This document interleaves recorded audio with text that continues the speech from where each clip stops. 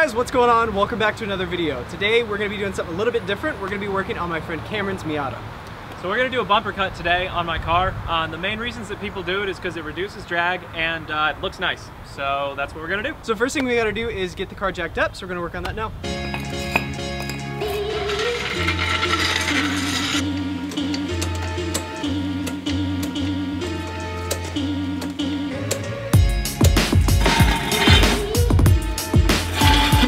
Right, so now that we've got the car up in the air, uh, we're gonna talk about where we're gonna do our cut. We're gonna do it about this level. Reason for that being that the actual metal support is right behind this, and this is about the bottom of it. So we can't really go much higher than that without exposing that. We're gonna mark out our edges with some tape. So uh, we have set points, obviously, on either edge of the trunk is gonna be one of our points. We're gonna use the uh, Mazda emblem as our center. So we're gonna follow this line across, and a lot of people end here on this edge for the exhaust outlet. However, we're gonna go a little bit farther actually, and we're gonna follow uh, this mud flap. So just uh, to help us figure out where that line is, we're gonna take our cardboard here and follow straight up so you can see right beside this uh, former mounting point is where we're gonna go uh, for the very edge of our bumper cut.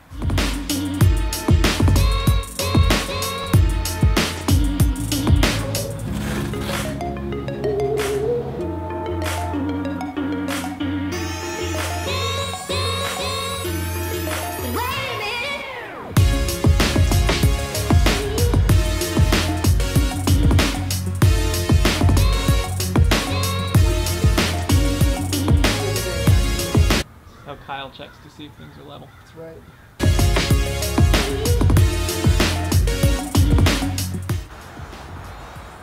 Alright, so what I just did is uh, we've got our main points. We've got two points by the mud flaps, we've got two lines where the trunk meets, and we got the center line.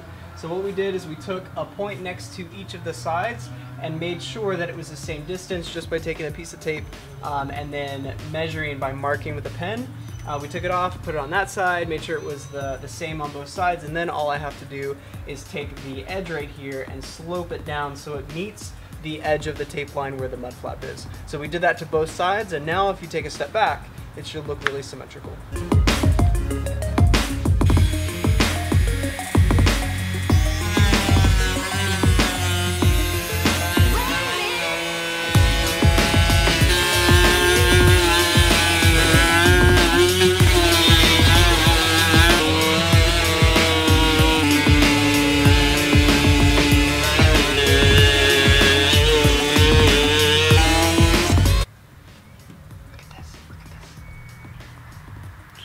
Plastic.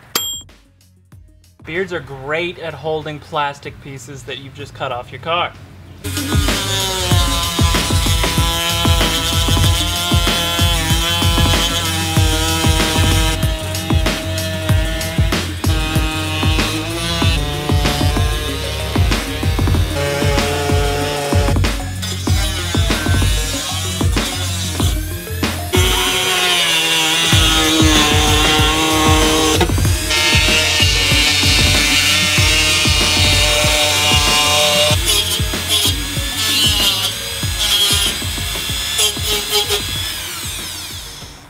So Cameron just finished cutting the first half of his bumper cut. Been using a Dremel tool with a cutoff wheel. It's working very nicely. As you can see, the cut is really, uh, is really, really clean. Yeah, the Dremel actually moves through at a really great pace. It's not too fast, so you can make sure to take your time and stay level. You can see this is pretty clean.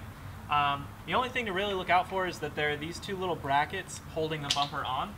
One of them is screwed into the bash bar, and you want to leave the upper portion of that because it's holding your bumper on. The other one you can trim wherever you can access it. Cool. Alright. So I'm going to cut the second half.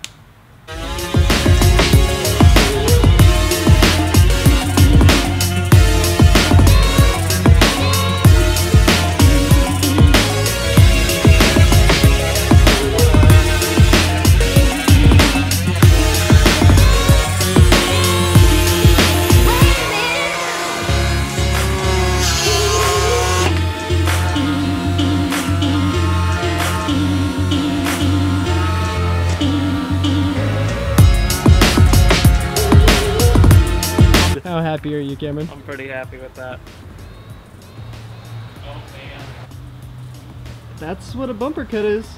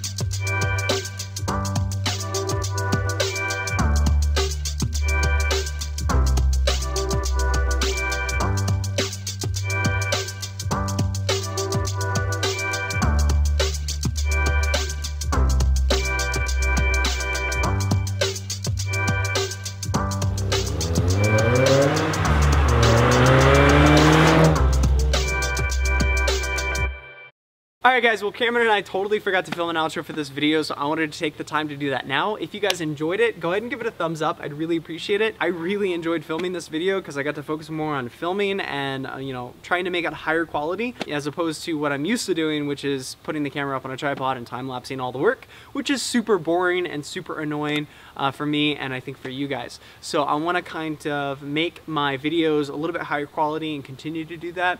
So the way I'm going to do that is by uploading more times throughout the week, two to three times a week. I'll show you guys a little bit more real time of what I'm doing with the car to make it happen and make the wide body kit work, as well as fill you guys in on other projects that I'm working on throughout the week because quite honestly, the wide body kit isn't the only thing that I'm doing to help me keep my sanity. I have some other projects on the side um, that are interesting and I think you guys will be interested in, so I want to share that with you guys. If you guys want to check out more content, if you're not already, go ahead and subscribe to my channel. That way you guys know when the next video comes out. If you guys want to see even more content beyond that, you guys can check out my Instagram. It's going to be linked in the description box down below, as well as I'm going to put a link to my friend Cameron's Instagram in the description box as well. That way you guys can check out all the pictures he posts of his Miatas, especially the one that uh, we worked on in this video. But anyways, I'm going to end it here. Like I said, I hope you enjoyed the video, and I will catch you guys in the next one. Have an awesome day.